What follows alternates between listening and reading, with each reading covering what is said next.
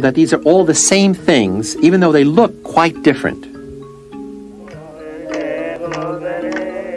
Why have people always been able to link different elements and ideas into a coherent relationship? A process that we only now have begun to understand. Price change see what happens. Cognitive processes, this time on Discovering Psychology.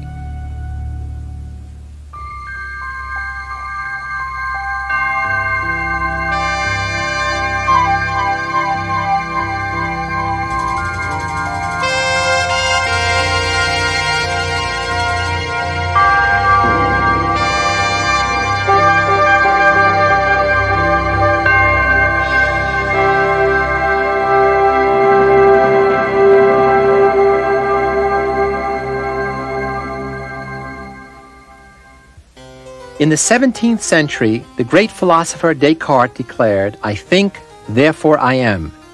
Without an awareness of our own thought processes, he reasoned, we would have no sense of personal identity.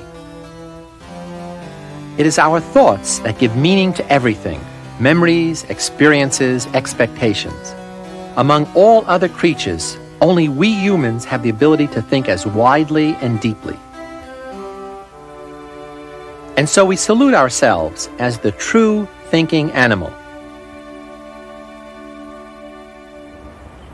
I think, therefore I am. Or in Latin, cogito ergo sum. Cogito means I think, and its derivation, cognition, is a general term we use for all forms of knowing. That includes remembering, deciding, planning, problem solving, and communicating ideas. The study of all these higher mental processes is known as cognitive psychology. Cognitive psychologists study how people take in information, store it, transform it, and manipulate it. Even though people have thought about thinking for countless centuries, it's only recently that researchers have begun to discover how we think. Howard Gardner of Harvard is one of the country's leading cognitive psychologists. The word cognitive psychology goes back quite a long time, and it basically refers to any kind of research or thinking which has to do with how people solve problems. And you have cognitive psychologists under that name or another name going um, right back to the beginning of the century. After the Second World War, when the computer had been invented, a number of people from different disciplines began to say, well, now that we know that computers can solve problems and we understand something about how they work, maybe we should think about the human mind as being a certain kind of computer, a certain kind of information processing system. And these individuals who came from psychology, philosophy, artificial intelligence, linguistics, sometimes from other disciplines as well, styled themselves as cognitive scientists. In the 30s and 40s, behaviorism was the most important area of psychology, and psychologists actually believed it was only important to pay attention to actions and behaviors which you could measure. And they made no distinction between animal behaviors, infant behaviors, and those behaviors of mature adults. Moreover, the behaviorists were very afraid of talking about any kind of internal representation. They didn't want to talk about ideas or models in the mind or anything inside the black box. Cognitive scientists said that's a dead end. People think, they compute, they solve problems. They have images in their head. They have schematas. They operate upon these things. That's what thinking is all about. And for goodness sake, if you allow a machine the right to think, you've got to allow human beings the, the same kind of right. So I think a very important part of cognitive science was just to point in a positive direction rather than in a dead end direction. In 1958, British psychologist Donald Broadbent used the information processing approach to model human thought processes. He was the first psychologist to use a flowchart to describe what happens to information as it's first received by the senses, then selected as competing information is filtered out, and stored in our memory. This information processing approach has proven so valuable because it analyzes cognitive processes as a sequence of ordered stages. These stages can be traced as information flows through the mental system as if the mind were a computer.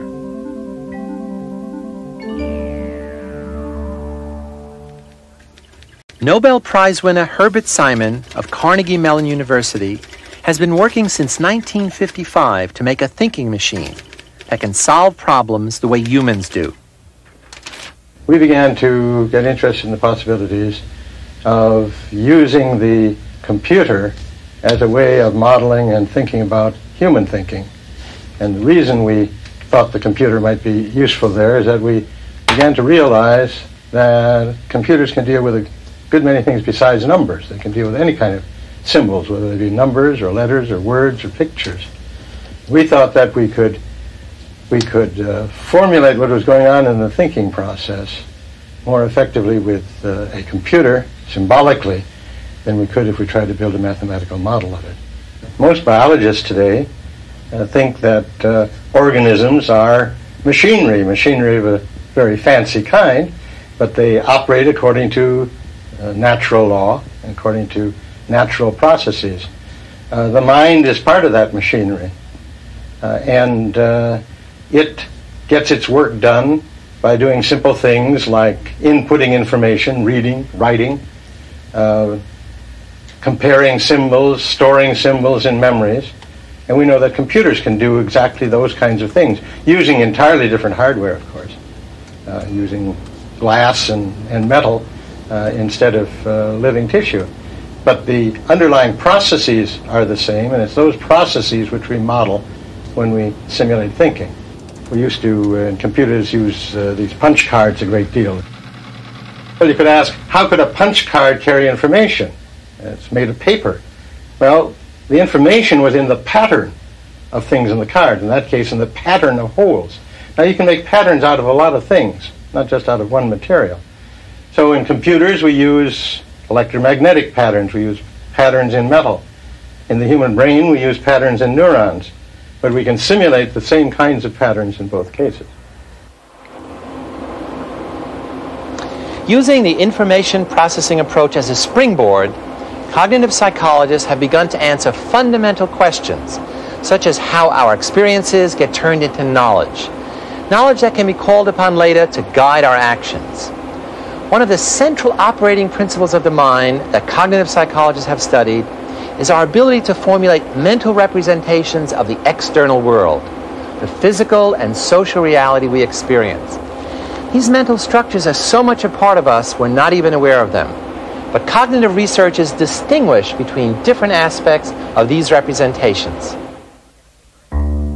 Take a look at these versions of the letter A. How do we know that they're all A's? They're not identical, in fact, some of them are quite different from each other, yet somehow we can identify them instantly. A typical computer, however, wouldn't be able to recognize them as belonging to the same category. Here's a harder example of the same mental process. Try to think what distinguishes the top line from the bottom. The correct answer is that the top line has rounded letters, while the bottom one has letters with straight lines. And here's another example. Which phrase doesn't fit with the rest? The answer is stars twinkle, because the others happen during the day. In all of these examples, your mind has had to perform one of its most basic functions, categorizing. We have to know what things are similar and what things are different if we're going to avoid the next danger and pursue our next pleasure. Not to mention, pass our next test. The categories we form in our mind are called concepts, mental representations of related things. A concept may represent all examples of a physical object, say a shoe, or an event, such as walking, a living organism, such as a person, an attribute, such as fast, or even an abstraction, such as love. Some concepts are remarkably complex, as demonstrated by these symbolic cave paintings made by Australian Aborigines. These, for instance, are gods who make lightning, which in turn brings rain, which in turn makes life possible. Our imaginations can construct concepts that link virtually any elements into a coherent relationship.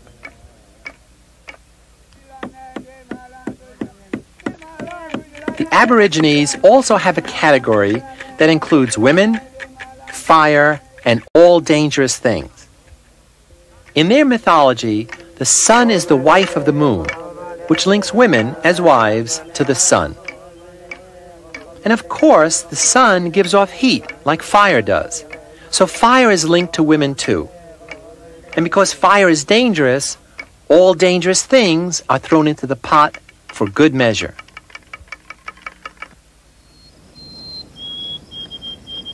But how do we store a concept in our minds? Do we have a definition of a bird, for instance, locked in our brains that can be read whenever we need it? Actually, it's now believed that many of our concepts include a representation of the most typical member of a category, called a prototype. For example, we tend to have in our minds a prototype of bird that most resembles a robin. While few of us think of a turkey as the prototypical bird, except around Thanksgiving, of course. We also tend to organize concepts in hierarchies. Is this a piece of furniture, a desk chair, or just a chair? For most purposes, we think of it as the latter, just a chair. This so-called basic level in the hierarchy of the concept chair gives us as much detail as we usually need. It's generally believed that most of our thinking about concepts is done on this basic level. Concepts are one way our minds categorize things. But what happens when the information we process contains many concepts? How do we handle complex ideas and experiences? The answer is with schemas. Take this sentence as an example. Jim was upset when he realized he had forgotten to pack the mustard in the basket. Why do we instantly understand what it means? We understand because we've organized a body of information and expectations around a picnic basket schema. Thus, we can infer a great deal about the basket without any other information. We can infer what's likely to be in the basket Yummy sandwiches. and what's not. Wheel and a snake. Moreover, when new information clashes with an established schema, there's a violation of our expectations, and our mind reacts instantly. I love the taste of whipper. Mm. Just compare your reaction to this sentence to this one. This violation of your expectations is detected instantly by your brain even before you're consciously aware of it. Now, sometimes we don't have enough information to activate the right schema. Until we add the right cue.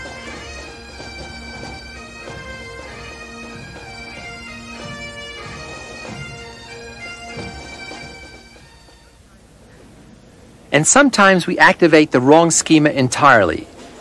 Take a good look at this drawing. It's an example of how our interpretation of new information can become faulty or biased. Try to remember the image you just saw. What do you think was happening there? For a number of research subjects, the knife was perceived to be in the hands of the black man. These subjects reconstructed the information found in the picture around their own bias schemas, which blacks are always seen as the aggressors. And so the knife changed hands in their mind from the white aggressor to the innocent black man. Here's another way we go wrong.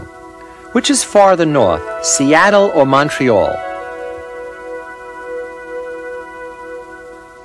And which is farther west, the entrance to the Panama Canal on the Pacific Ocean side or the entrance on the Atlantic side?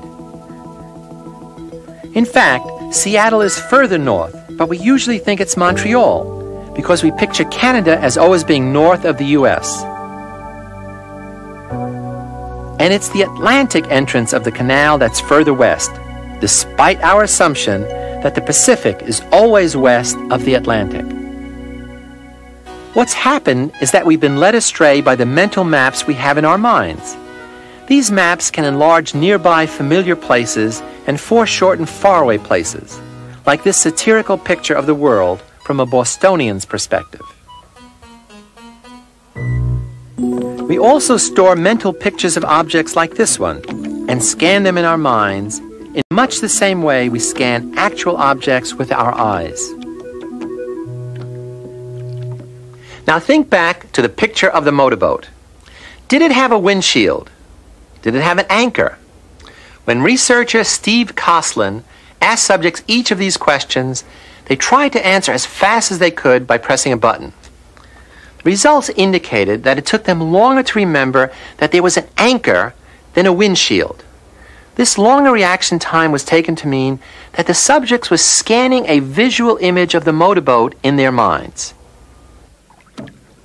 And because the anchor was farther away than the windshield, when they scanned the image starting from the back of the boat, it took longer to see the anchor with the mind's eye. A similar result occurred when subjects were asked whether each of these letters was a normal R or a mirror image.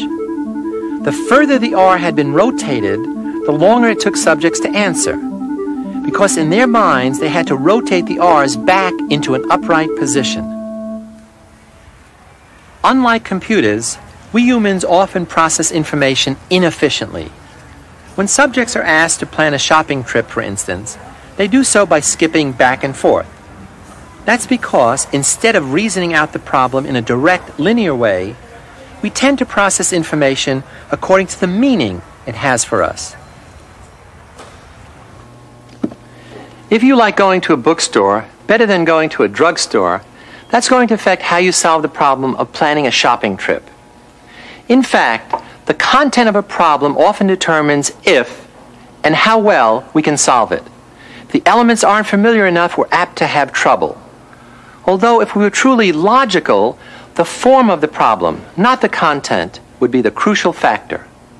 So, even though the human problem solver can be rational, can reason, we aren't designed to be particularly logical. And that's where we part company with computers. I think that the very fact that we have used the computer as a model of thinking has showed us many ways in which human beings are not terribly rational, ways in which we do stereotypical kinds of thinking, prejudicial kind of thinking, thinking which proceeds from an image rather than from a set of, of reasoned propositions. And the paradox is it was only by using the computer as a model of thinking that we saw the various ways in which human beings actually deviate from that kind of systematic, logical, step by step rationality. While researchers have been trying to understand the functioning of the mind, both rational and irrational, most have tended to overlook the machine that actually runs us. But now, some cognitive scientists are starting to ask how the physiology of the brain enables us to reason, learn, and remember. Michael Posner of the University of Oregon uses brain imaging techniques to explore what parts of the brain are used in specific cognitive tasks, such as reading. Recently, it's become possible to study problems like reading in normal people by uh, using a method called positron emission tomography, which allows one to look at the blood flow in different localized areas of the brain in normal people as they perform cognitive tasks like reading. In uh, our studies, we had people read single visual words which were presented directly in front of them, and we tried to study the component operations that are involved in that very simple task. In one condition, we had the people simply look at the visual words without doing anything with them. In another condition, we had them read the words aloud. In yet a third condition, we asked them to classify the words, that is, to give us the use of each word. For example, if they got the word hammer, they were to say pound. In each of these tasks, we were able to look at the areas of the brain which were active, that is, in which we saw different levels of, of uh, cerebral blood flow. In general, we plot these areas in different colors. So when an area is very active, it's in a bright color, white or bright red, whereas when it is quite inactive, that is, when it differs only in a very small degree between its control condition and the experimental condition, it's in a dark color, purple or blue. And we found that very localized, very specific areas of the brain were active during different aspects of word reading.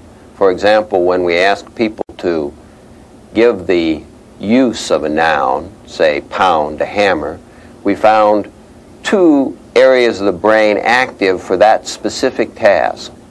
And really only two uh, areas in the whole cortex seem to be specially active for that task.